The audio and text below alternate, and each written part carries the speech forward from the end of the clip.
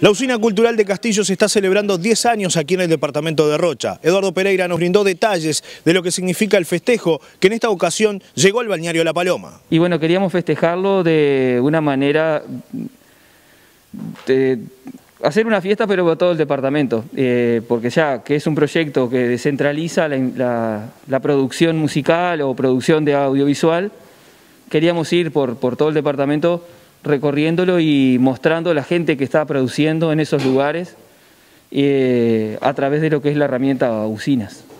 Eh, de una manera muy especial también, ¿no? Porque los agarra en plena pandemia, con todo esto que está pasando, y hay que, de alguna manera, reestructurar, barajar y, bueno, buscar una solución para festejar. Y en este caso ustedes lo hacen a través de, bueno, la plataforma virtual, ¿no? De Internet, concretamente. Sí, eh, los festejos son de esta manera porque el momento nos dice que sea de esta manera. No sé de qué manera hubiesen sido si, no hubiese estado en el momento que, estamos hoy históricamente. Seguramente sería con público. Seguramente sería con público. Eh, lo que no descarto es que lo hubiésemos hecho en todo el departamento, porque está... Es una cosa que desde el 2016 eh, hemos tomado como, como como bandera de, salir a las otras localidades a, a, ir a grabar. En La Paloma puntualmente no estuvimos, pero el año pasado estuvimos en La Pedrera, estuvimos en Lascano, y ahí eh, lo que se hizo fue, bueno, se instaló toda la usina en ese lugar y se grababan a los músicos de esa zona. Hoy cambia porque, bueno, es un en vivo, sí, usando estas plataformas que, bueno, que ya están colmadas de en vivo, pero creíamos que estaba, era importante que, la usina se acoplara a esto. ¿Tienen un registro de cuántas personas han grabado en la usina desde que se creó? Y mira, el promedio son 300, 320 personas, 10 años, eso es más o menos el promedio de personas que pasan por la usina eh, por año, así que vamos a hacer 300 personas. Variados estilos variados estilos, variadas edades, variadas formaciones, variadas formas también de que la usina apoye proyectos. Ahora, eh, por ahí atrás estaba Marcelo Bianco, de Sale con Fritas. Se ha apoyado en, diferentes formas eh, y en diferentes también etapas de Sale con Fritas. En algún momento se grabó todo en la usina, en algún momento necesitaban alguna cosa puntual y se grabó eso puntual a veces se grabó eh, eh, el máster, a, veces se hizo solo mezcla.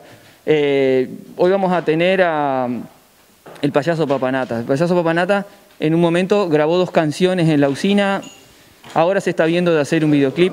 Todos los proyectos tienen formas diferentes de apoyarlo, también según las personas. Hay personas que van y no tienen ni tienen la canción rasgada en guitarra. Entonces se sientan con el técnico de sonido y empiezan a ver todo lo que es, cómo va a ser esa canción, cómo va a tomar color.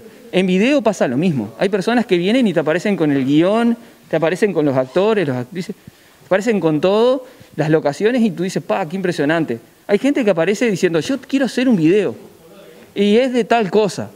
Y ahí es sentarnos a pensar qué es lo que se va a hacer y bueno, y, y empezar a trabajar todo eso. Hay gente que viene con todo filmado, y dice, yo no tengo una máquina que pueda editar. Y entonces se apoya solo en la edición. Es muy amplio. Sí, es variadísima la, y, la dinámica que se da. Entonces, eh, yo creo que, esto, eh, eh, estas transmisiones que, van a ser hasta el 24 de septiembre, porque vamos a ir, ponte la semana que viene estamos en, en La Pedrera, después La Coronilla, 18 de julio, Lascano, Cebollatí, Rocha, Chuy, Castillos, yo creo que ahí vamos a mostrar, se va a mostrar, se va a ver todo ese espectro de lo que son las usinas culturales y lo que están trabajando en, diverso, un mundo muy diverso como es el mundo, por suerte. ¿Cómo ven el futuro? Porque se ha hablado mucho de la posibilidad de la continuidad o no de las usinas culturales. ¿Qué piensan ustedes? ¿Qué se les ha dicho? Bueno, hasta ahora, eh, al principio sí salió algo así como que, usinas se, Podrían llegar a desmantelarse. Llegar a cerrarse. Después hubo como un giro eh, en, ese discurso, se han tenido reuniones con la directora nacional de Cultura y, bueno, eh, recorrió algunas usinas en Montevideo, cambió su forma de, pensar, pero todavía se, está pensando como una reestructuración, pero todavía no hay un comunicado como, como oficial de que cuál es esa reestructura que se está pensando. ¿Firmes que va a continuar?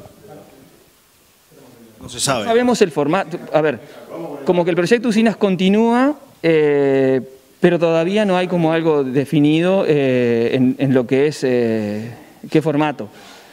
Capaz que no es las usinas culturales como las conocemos, como, como vienen desde el 2009, la creación de Hugo Chugar. Capaz que ya no, es, no va a ser más ese formato. Tampoco sabemos a partir de cuándo.